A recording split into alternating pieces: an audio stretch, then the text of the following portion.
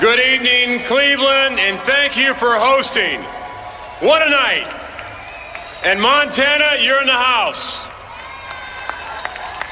You know, I'm honored to be sharing the stage with Senator Ernst and Jason Beardsley and all these distinguished veterans. What a circle of honor. I also proudly represent the great state of Montana and the first seal in the House of Representatives. Before I was elected to Congress, I spent 23 years as a Navy SEAL. I was a commander at SEAL Team 6.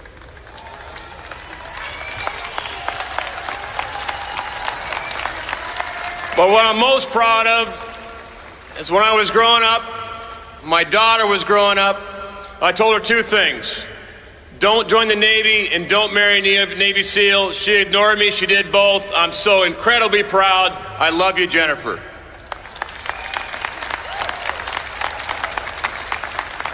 So, did you ever hear of a place called Gitmo? Let's just say I'm personally acquainted with many of those individuals experiencing those accommodations. And let me tell you, they need to stay there forever.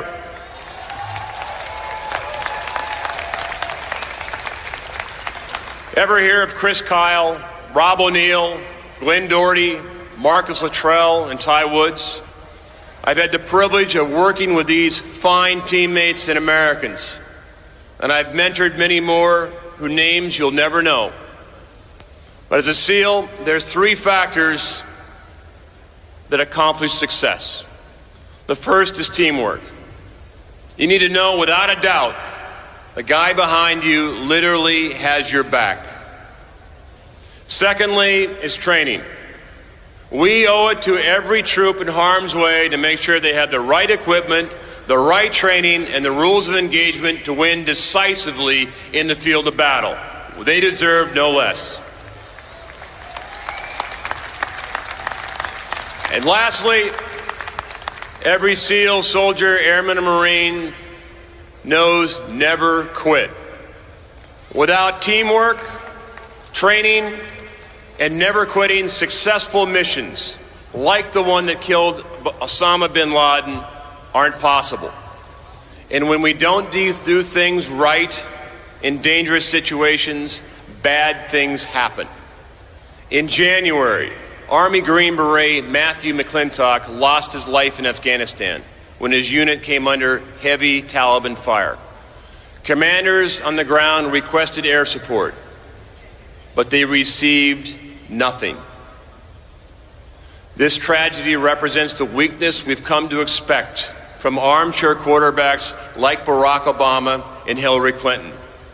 Senator Ernst ably described the leadership failures Barack Obama and Hillary Clinton both are responsible for these failures.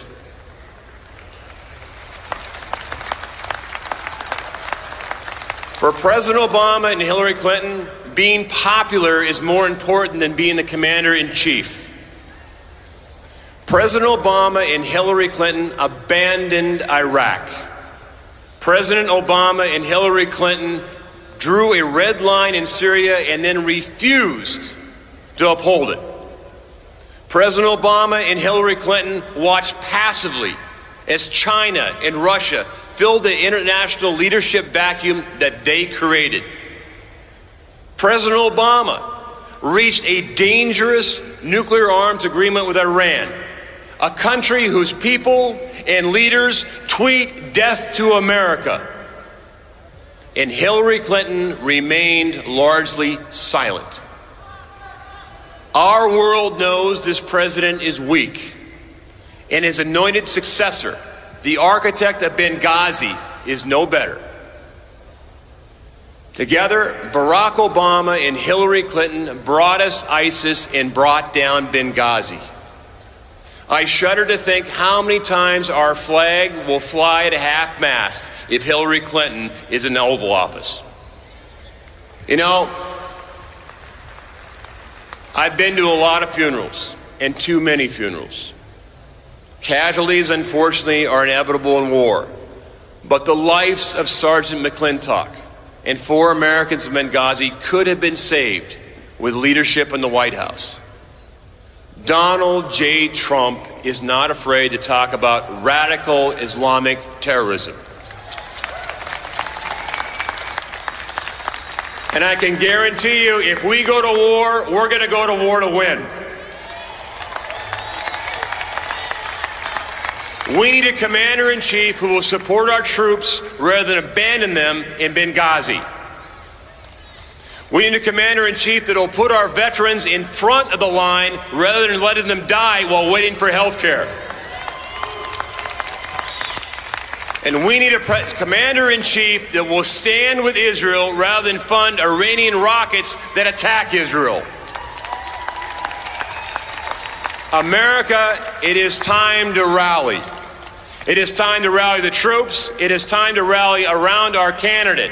It is time to rally around Donald Trump, who will make America safe again. Thank you. God bless America. Good night. And God bless all our troops, men and women who defend her. Montana, I love you.